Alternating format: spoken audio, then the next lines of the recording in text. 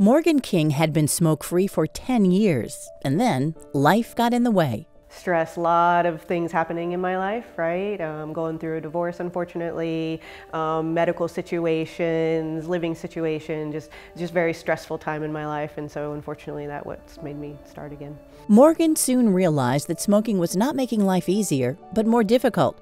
She was ready again to kick the cigarette habit. It was that motivation, uh, wanting to quit. I, I, also had some medical issues that, that caused me to um, rethink that situation. The doctors told me to be able to heal properly, you need to not smoke. Smoking really inhibits your ability to be able to heal. And so that in combination with already wanting to quit it really gave me that motivation to want to do so. But for Morgan, self motivation simply wasn't enough.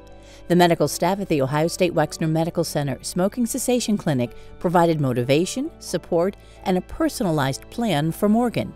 They were really good about all the questions that they asked me, really dig into what were my triggers, um, what is it that I think that would help me quit, what have I tried, all of those things. So really having an open dialogue about the situation. And that was specific to me. And I think that was really important because I don't think it's the same for everybody. Since Morgan stopped smoking, she has noticed that she breathes easier. She doesn't have a hacking cough. Her taste buds have returned.